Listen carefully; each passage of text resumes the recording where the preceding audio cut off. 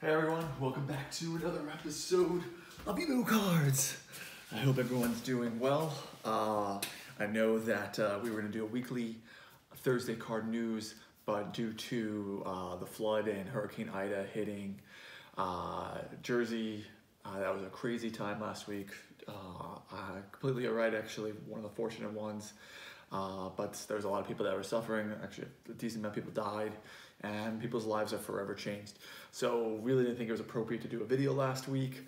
And uh, so yeah, so we're gonna be back at it. Thursday car news once a week, Thursday around around this time between 8.30 and 9.30 at Eastern Standard Time, but not like it matters because we're not live. Um, thank you to my subscribers hit the like button, subscribe, comment, get involved, subscribe, subscribe, subscribe. And uh, yes, let's get involved. Love you on Instagram, getting close to a thousand followers. Again, thank you to everyone. Just needing to now get the subscribers up on YouTube to follow suit. Uh, but nevertheless, here we go. Thursday card news. So like we did for the first time, just gonna say the news and then after, after each item, um, we're going to go to my opinion. A-Rod backs out uh, out from Panini. So A-Rod um, was part of SPAC and they were trying to do a merger through Slam and that was the, the, pat, the, the SPAC uh, company that he was working with, very similar to Muds with Topps, which that merger failed after the MLB um, deal. MLB took back the licensing from Topps. That deal went kaput really quickly.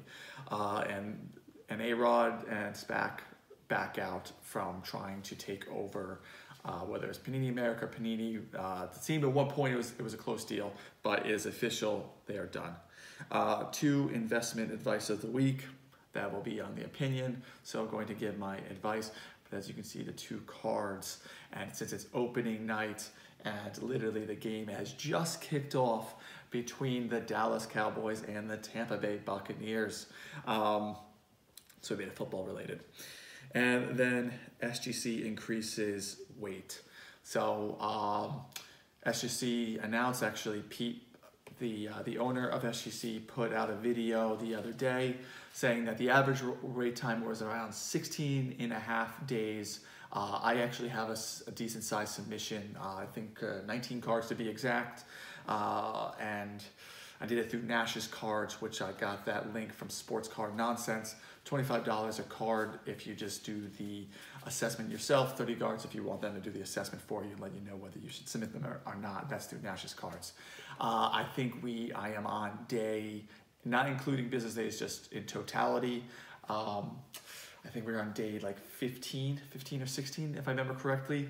And Pete specifically said 16 and a half business days, very massive. So that's five days out, out of the week and uh, increased it, said that pretty soon that they're gonna get to 45 to 50. That's due into SGC gaining more and more ground um, onto it. Actually very interesting with Slabstox uh, said that Justin Herbert rookie card, the same card, PSA 10 and SGC 10 within 24 hours, finished within $25 each of the other. So um, it just illustrates that SGC is, is gaining more ground and also that uh, a lot of people are submitting to SGC. Uh, I, I, it looks like the popularity will it ever catch PSA? I'll take I'll, I'll, take over that in the opinion. So let's go back to item one in, in my opinion on the matter. So A-Rod backs out of from Panini. This is correct or correlation to um, Fanatics uh, because uh, Panini right now is worth 1.3 billion. Fanatics is worth around 18 billion. Um, it's really not that far-fetched that um, that Fanatics may be continuing their domination and monopolizing the market, which definitely has a lot of people concerned, and rightfully so, um, that they're going to buy one of the big card merchandisers, whether that's Topps, whether that is um, Panini, those those two things, may, maybe Upper Deck. We, we really don't know. Um, there's even speculation that Fanatics may go after the one of the grading companies, whether that's CSG, HGA, um, SGC, what have you. So um, A-Rod backing out, out from Panini, which I, again, at one time was looking really, really close. I actually was keeping my eye on the um, at the stock market, they under slam. That's actually their uh, stock ticker symbol, just to see if there's anything. And it always fluctuated between nine dollars and sixty cents and really didn't move. Um, and it shows you that maybe that was the case all along because even after this announcement, the stock really didn't change very much. Um, again, it was looked like it was close that, that that Slam was going to purchase Panini and take over, similar to what Muds tries to do with Topps, to to make them go public but that is put a nip in the bud. And again, direct correlation from Fanatics just taking over the licensing and getting merchandising uh, agreement from MLB and NBA and NFL. So, investment advice of the week. Look, you, you can't go wrong with certain players, and um, in the long run, especially, doesn't feel comfortable saying this that the car market is very morbid. Uh, people get emotionally attached for people that are no longer living. The biggest, latest example, people might mean to think of Kobe Bryant, but Kobe Bryant already had a really good appeal. Hank Aaron was the one that came to mind because when Hank Aaron passed, like some of his cards, especially his rookie cards, went three, four, five times X. Um, so Jim Brown, uh, one of the greatest running backs of all time. Some people still think he's he's the greatest running back. Um, this is his Rookie card, got this uh, PSA 5 uh, miscut, so it's a bit of an error card. And yeah, this is his rookie card, PSA 5. Uh, and this is his 1966 Topps. And this is a uh, PSA 8 near mint with the misnomer of off off center. So uh, I got those for two really good deals uh, below what their usual market value is at those respective ratings. And um, they're still low. And Jim Brown is 85. Um, you know, so has it that we eventually pass. And when that does, uh, the market's going to skyrocket. And again, you know, one of those sure things in the car market, one of the safest advices that you can and also being the NFL kickoff, thought it'd be pretty apropos that we would talk about the NFL. So Jim Brown, that's my this investment advice of the week. It's actually it's pretty easy to find his cards. It's not like um, Kareem Abdul-Jabbar, Lou Alcindor, uh, Walter Payton is a good example.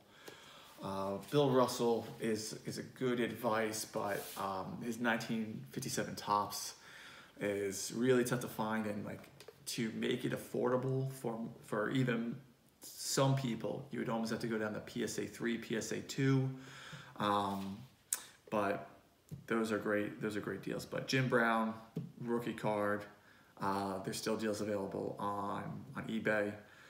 Uh, highly recommend. One of the safe advisements probably besides buying sealed boxes of really good really good um, hobby boxes cards like Jim Brown is as safe as they come. So that's my investment advice of the week. And SGC increases wait. So opinion on the matter is is SGC superb communication, letting know everyone what what's going on and actually getting people ahead of it. Um, it's actually kind of actually smart marketing by SGC overall. They say that it's 45 days in 45 50 days incoming. So people are going to want to do it now before it gets to 45, 50 days. So I wouldn't be surprised in SGC's numbers if they increase their level of submissions because of announcements. Do I think that was planned? Yeah, I kind of do. And it's pretty smart marketing. Um, it, it also represents that SGC's popularity is growing because it looks like PSA is not coming back anytime soon. Actually, I think it's going to be July 1st, 2022, when they really open up, and they may never go back to bulk again because there's just way too many people in the card industry that are, are, are loyal to PSA and um, are just waiting for them to return, patiently waiting. I, I mean, I talk people through Facebook Marketplace, through Instagram, um, yeah, those two those two places where people will, are just going to wait for PSA. They, they, they're just adamant that um, they're going to wait for PSA. And you can't blame them because until this point, it's SGC is still 30% on the market. And um, I think SGC has passed Beckett now. I mean, Beckett's pristine, and with their autos, I'd still prefer to go to them. Um, but as an overall, as a service and in value, I think SGC has surpassed. And, uh, P- and SGC giving this type of communication, saying that the level amount of people that are coming, amount of submissions that they're getting illustrates that um, they're growing.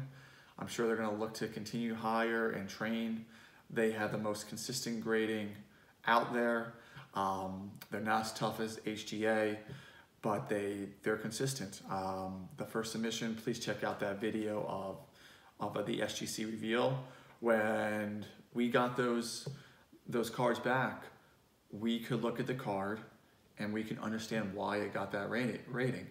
There are countless videos of people getting PSA submissions ever since March of, of this year where, uh, I mean, I looked at their cards, they looked at their cards, and I mean, some of the times, like, what I look at as would be a PSA 8 or 9, people were getting PSA 6s and 7s, and some cards that are just absolutely stunning uh, are getting uh, you know PSA 9s, PSA 8s with real no rhyme or reason.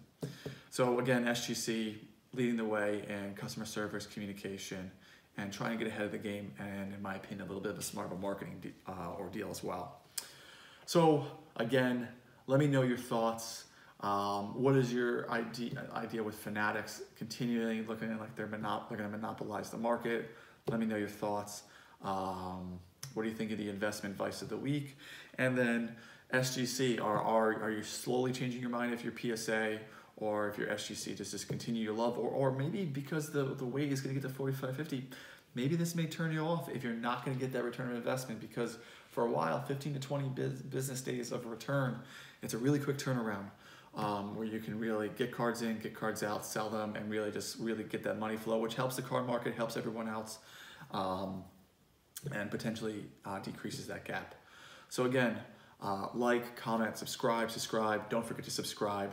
I hope all is well. Please take care, uh, stay safe, and welcome back football. Peace.